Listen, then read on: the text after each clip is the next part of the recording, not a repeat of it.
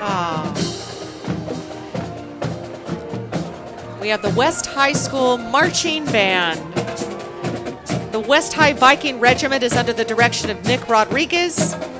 The regiment is made up of woodwind, brass, percussion, and auxiliary for a total of 77 performers. The West High Band competes at the local level in addition to out of town competitions. Way to go, West High School. Hey, Vikings!